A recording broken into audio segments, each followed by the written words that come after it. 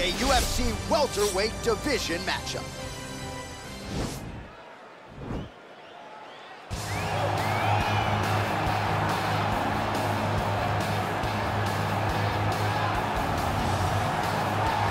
Well, always exciting when this guy shows up on the fight card, Daniel. He is a true mixed martial artist. Not really any glaring weaknesses, at least, that he's put on film thus far. He's the new breed of fighter. Those kids that start doing everything at six years old. They start wrestling, they start doing jiu-jitsu, they start to box.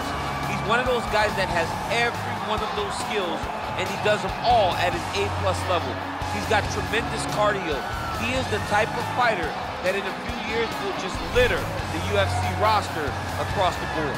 And oftentimes his opponents will say he doesn't really do anything special, but he does everything at a plus level, and he believes he'll have a lot of advantages in this matchup tonight.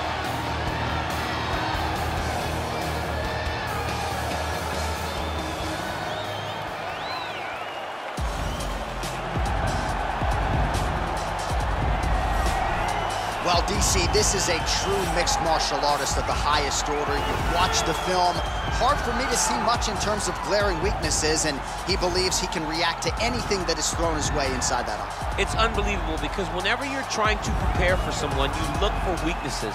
But when you watch this guy, you, nothing jumps off the page. When you think I have to go wrestle him, you realize very quickly that not only can he defend takedowns, he can also go and secure them Sure. himself. He's that new breed of fighter that has been doing every discipline from the very start of his career.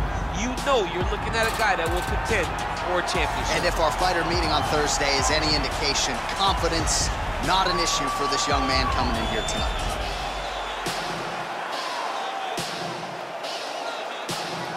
Our tale of the tape for this highly anticipated welterweight fight. Two years apart, these two fighters, with similar height and some differences in reach. Bruce Buffer. Ladies and gentlemen, this fight is three rounds in the UFC welterweight division. Introducing first, fighting out of the blue corner, a mixed martial artist holding a professional record of 14 wins, two losses. He stands 5 feet 11 inches tall, weighing in at 170 pounds. Fighting out of Perth, Australia, Jack Della And now introducing his opponent, fighting out of the red corner. This man is a mixed martial artist, holding a professional record of 17 wins, no losses. He stands 6 feet 1 inch tall, weighing in at 170 pounds. Shavkat Nomad Rakhmonov.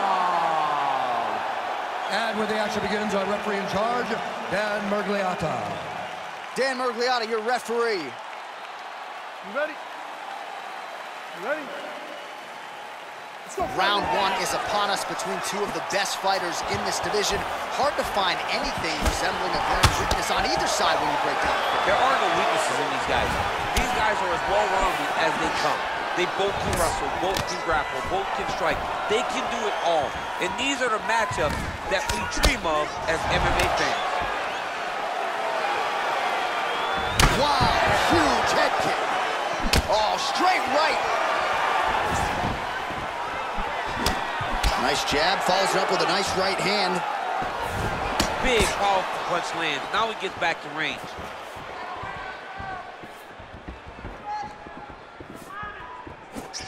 Whiffs on the straight right hand.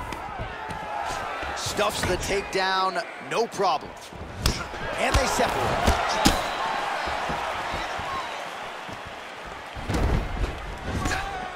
Oh.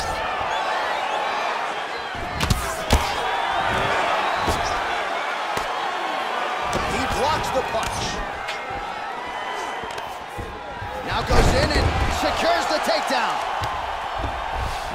All right, working inside the closed guard now. All right, he's very comfortable fighting off his back, DC. Now looks like he's trying to hip escape. Yeah, he's trying to hip escape or maybe look for a Kimura here. Fighter trying to pass here, ooh, but gets denied. Gets denied. Great job, great recognition of seeing what your opponent was trying to do. Well, anytime you are in a ground fighting situation with this fighter, you're potentially playing with fire. Oh, his opponent squirming like a fish out of water now. The ground and pound is on point. This could very well be the beginning of the end. This could be the beginning of the end. We've seen some really good ground and pound fighters. This young man is as good as any we've ever seen. Working off of his back here. Looks like he may try to hip escape. Solid strike on the ground. He's putting him in exactly the positions he needs to be in right now. He's able to relax here. And he understands, being a veteran of so many fights, that as long as he's on top, he's winning. He feels like he's winning here. Watch triangle, watch triangle.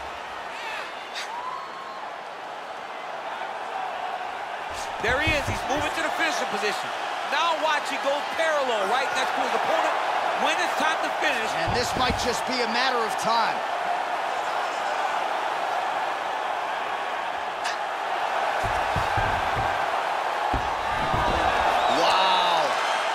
All right, right into side control here, DC. Biggest difference between half guard and side control? Well, side control to me feels like a little bit less control because now my legs aren't really doing anything anymore. Now I'm controlling you with my upper body. So I've got to be very, very aware. It's still advantageous, but it just seems a little more free-flowing than having something like a half guard. He doesn't know you have a whole all right, so we now look back at some of the action from that previous round, DC. A lot of good highlights on both sides. I mean, a lot of good highlights from both competitors. They both should be very proud of what they accomplished. But I'm telling you, man, I'm not sure they can keep this up. If they land at this clip for another five minutes, somebody's going to sleep. All right, folks, here we go with our next round. And in terms of his output and his efficiency with his significant strikes in the previous round, you can argue that was the best five-minute stretch of his UFC career. Oh, absolutely the best five minutes he has ever had. He didn't oh! like that left hand. He needs to start looking to finish now because he's got his opponent hurt very bad. Big knee to the body. Really using his reach advantage there with that punch, DC. Double leg. Stuffed. And he lands a punch there. Pretty good connection by him. Great connection. He's in a great flow right now.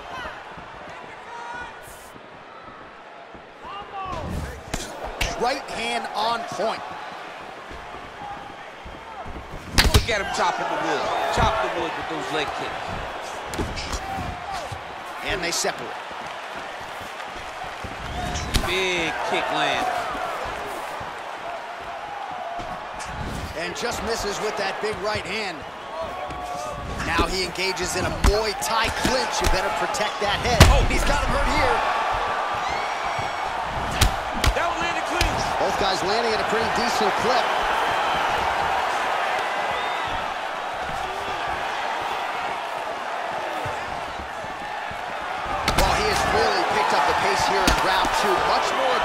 We saw in round one, and now starting to find himself oh. in the pocket.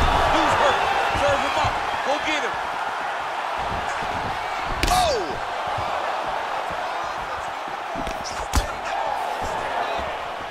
Big punch lands over the top. How's he going to follow this one up? Mixes it up nicely in terms of staying heavy and also staying active. Another punch to the head.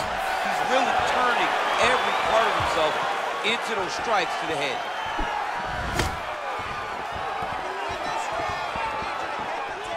All right hook attempt, no good.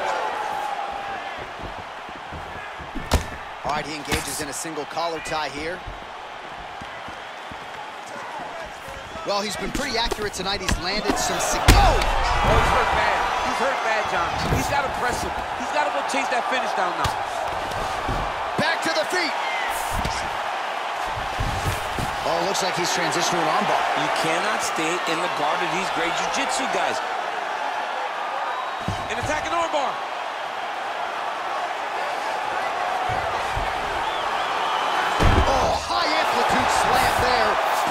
Job defensively to fend off the armbar and slam his opponent to the canvas. All right, closed guard now. You got to be careful, though. He's got a lot of submissions off his back.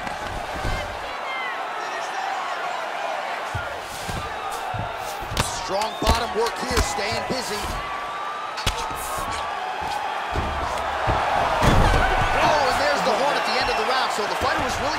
Submission there just as the horn sounded. Safe to say he was saved by the bell there. So back to the stools they go. 60 seconds to recover here. We're gonna fight on, ladies and gentlemen. Another round coming up. All right, so there's the horn. He got knocked down by a punch in that round, but he is able to survive. We'll see if they can make some adjustments. He's as tough as they come. He took that shot and he kept plodding forward. He got off of his butt. He got himself off of the canvas and tried to get right back to work. But he cannot take many more of these. You don't want to be the guy that's testing how tough that your chin is. Final round, you ready? Go, fight. Ooh, nice slip to avoid that right hand. Punches blocked. Immediately gets the underhook. Now he's got the Muay Thai club. Stuffs the takedown there. How good is his takedown defense? Wild attempt with the right hand there. Well, excellent takedown defense so far in this fight, and there it is again. He knew if he was going to win this fight, he was going to have to stop the shot, and he's certainly done that so far. He has done a great job of staying upright. He understands positioning. He understands finding defense and getting back in the space where he's having the most success.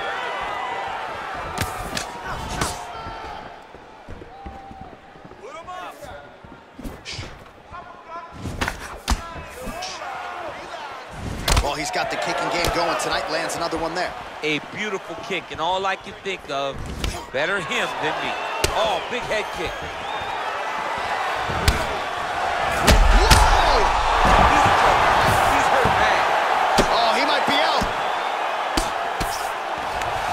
Oh, he gets back up, but barely. Look how wobbly he is.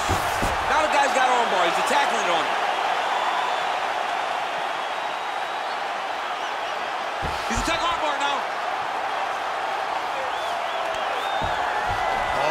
picks him up and slams him down. Big explosive slam to lift him and slam him out of that armbar.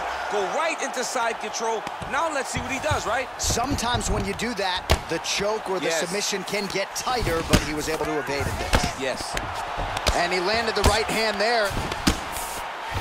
Volume strikes continue to rain down. His opponent pretty helpless there on the ground. His opponent is helpless. He's been hurt, he's been battered, he's been beat, and now this guy's just trying to find the right time to land the strike that ends the fight. Oh, nice job working hard, posting and perfect entry there, and finally he gets his first takedown of the fight, and they say if at first you don't succeed, try, try again, was able to get him down there. Persistence pays, and that's what we saw with this young man. Over and over, he shot for takedowns, he tried to mix it up, and he got defended. But eventually, he got it done. Now, what does he do with this top control? Oh, now trying to isolate an arm, DC. He needs to move his hips back to cover. He cannot allow him on that angle. He's going to attack armbar here. He might get a finish here. Oh, now he's in trouble.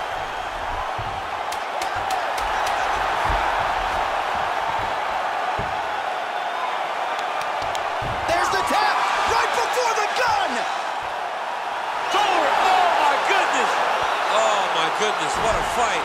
And to get the submission that late in the fight is most impressive because you're dealing with sweat and blood and fatigue and a lot of different elements that play out over a 15 or 25 minute fight, but his technique didn't suffer, right? A lot of fighters, when they get fatigued, maybe the technique suffers a little bit. Not the case with this fighter here tonight. Locked it in and forced his opponent out of the fight.